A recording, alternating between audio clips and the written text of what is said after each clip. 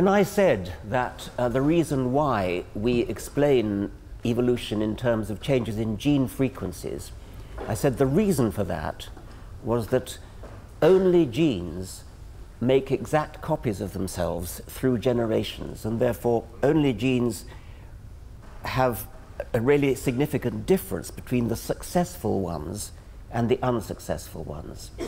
Now, in order to dramatize that point, in the last chapter of the first edition of The Selfish Gene, I wanted to make the point that actually anything which has that property that genes have of making exact copies of themselves, anything that has that property would do.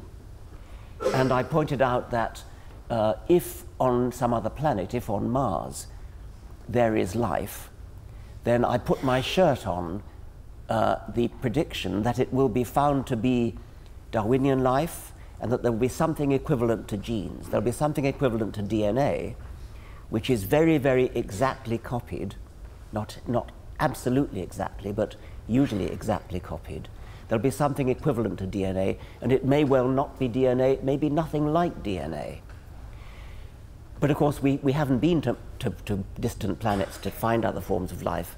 And so I instead said maybe there's another kind of replicator on this planet that potentially could be doing the same job as DNA. And that's where the meme came from. The meme is the unit of cultural inheritance. It's anything that behaves like a gene in human culture uh, the equivalent of uh, the act of reproduction at, at the genetic level would be the act of copying an idea from one brain to another. And I used examples like whistling a tune, uh, and, the, and somebody else catches the tune almost like catching a virus. And they whistle the tune, and they walk off into the street whistling the same tune, and somebody else catches it uh, and whistles the same tune. And so potentially you could have the same tune spreading throughout, throughout the town. Or if not a tune, it could be a style of dress, um, it could be an accent, it could be a, a favorite word, uh, it could be um, a, a, a, style of pottery or wood carving or anything like that which is copied from one person to another. You could imagine a style of carpentry, a style of wood carving that is copied from a master to an apprentice, and then the apprentice becomes a master of the next generation and passes on his skill to an apprentice of the next generation. Anything like that, provided that something is accurately copied down generations, and where I use the word generation in a metaphorical way, you, you now understand. Generation could mean I whistle a tune and then you pick it up and whistle the same tune. That's one generation. So I'm using generation in that, in that metaphorical sense. Wherever you have memes that are copied from one brain to another, you potentially have the possibility of a kind of natural selection. Now, it's a big step from that to say there actually is natural selection.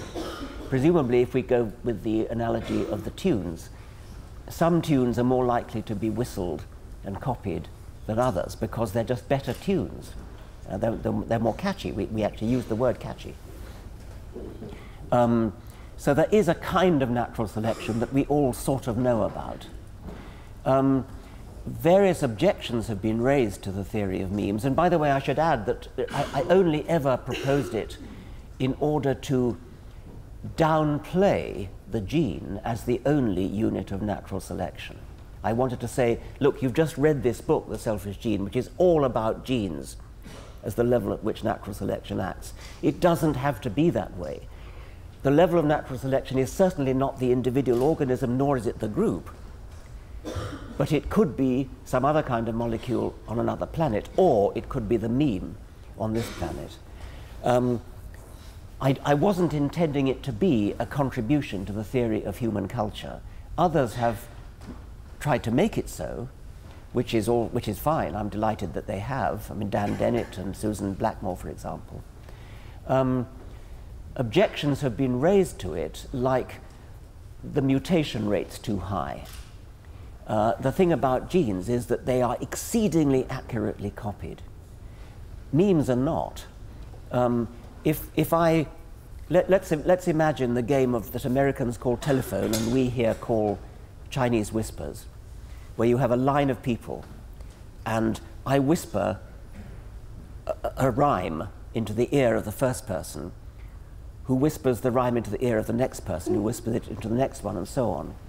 And the, um, the funny part of the game is that usually the rhyme becomes completely garbled by the time it reaches, it reaches the other end. But if the rhyme was sufficiently short and easy to remember, if it were just something very short, uh, like too many cooks spoil the broth, that would probably get to the end of 20 people without, without mutating. Um, so we, we all know that it's perfectly possible for unmutated memes to survive.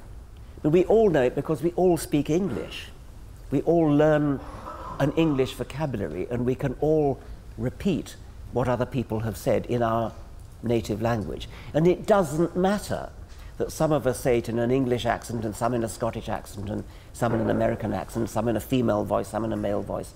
These are all um, trivial mutations, and they're trivial in exactly the sense, in precisely the sense, that they don't get copied from one end, from one generation of the game of Chinese whispers to the other.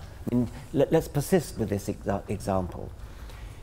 I whisper into the ear of the first person a rhyme. The, this first person whispers the same rhyme into the ear of the next person, but she does it in a female voice. But it doesn't matter. The message survives. Uh, the next person does it in an Irish accent. It doesn't matter. The message survives. The exact words survive.